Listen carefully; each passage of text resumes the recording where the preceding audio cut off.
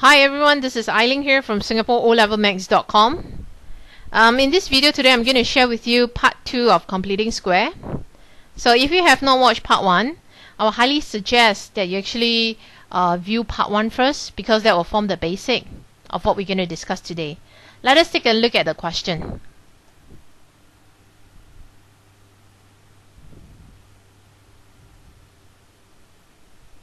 So, I'm going to work this question out showing you the step by step. First of all, you got to notice that the coefficient of x squared is no longer 1. It is in fact negative 1. So that is the first thing that we need to do. We need to factorize out the negative sign. And we're going to just apply it for the first two terms, the x's term. So it's negative bracket x squared minus 4x plus 5.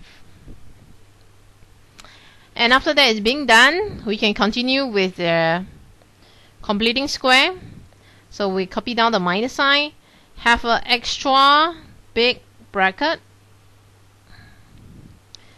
Alright, and the completed square form will look like this. X, because it's a minus sign, so there's a minus sign over here.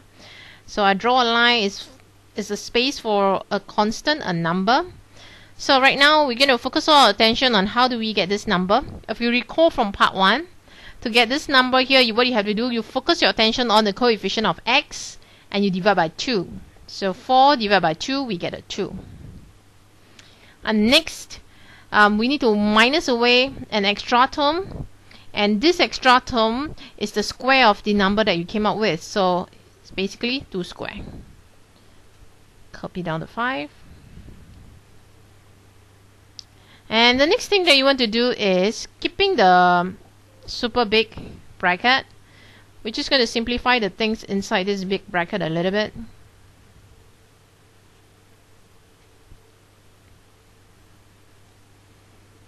And now this is the time for us to remove this big bracket over here. So if you allow me to show you this, when we expand, we get a negative x minus 2 whole thing square. And when you get a minus, multiply by a minus 4, you end up with a positive 4. And you copy down the 5. And if we simplify this, 4 and a 5, we get a 9. So, well, I'll usually put the positive term in front so that it looks nicer. And anyway, that was the form that the question asked for. So, we are done with the completing square for this question. Now, um, let us compare it with the original question itself. So you notice that this was what we have as the answer. And we compare with what was given in the question, we can conclude A has the value of minus 2 and B has the value of 9. So, I'm going to leave you with a bonus question for you to work on to see if you really understand completing square part 2. So this is the question.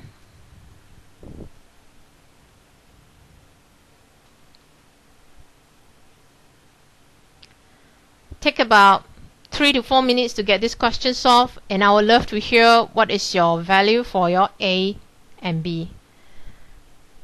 Thanks a lot. I hope this um, video is useful for you.